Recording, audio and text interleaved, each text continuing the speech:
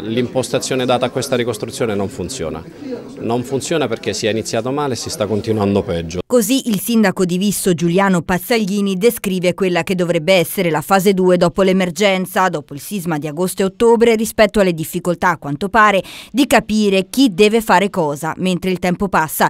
D'altronde lo stesso commissario per la ricostruzione Vasco Errani in diretta tv, dopo le schermaglie nelle riunioni passate con qualche scintilla finita sui giornali, annuncia la necessità necessità di cambiare l'organizzazione.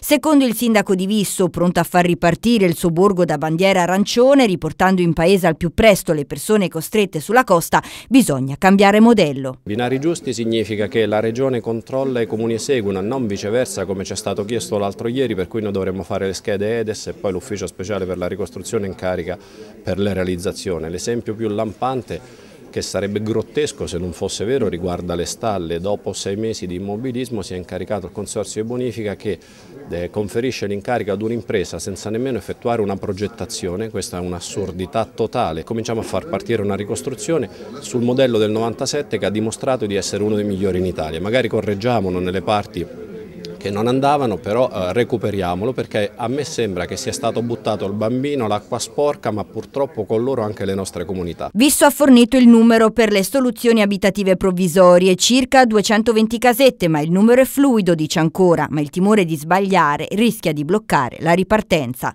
Si sta eh, gestendo questa ricostruzione come se tutti gli amministratori pubblici fossero dei delinquenti da eh, tenere eh, sotto strettissimo controllo. Io non devo essere terrorizzato da questo margine errore che mi potrebbe portare a dover spiegare alla Corte dei Conti del perché ho ordinato tre strutture in più. È assurdo, però questo sta bloccando la ricostruzione. Intanto è stata rinviata al 6 marzo la riunione tra il commissario Errani e i comuni terremotati delle Marche prevista a Macerata. Il commissario auspica però, parlando in tv un'articolazione diversa degli uffici della ricostruzione a livello provinciale per avere un rapporto più diretto con i territori. Per Fermo sarà abbastanza semplice perché il numero dei soggetti è comunque limitato.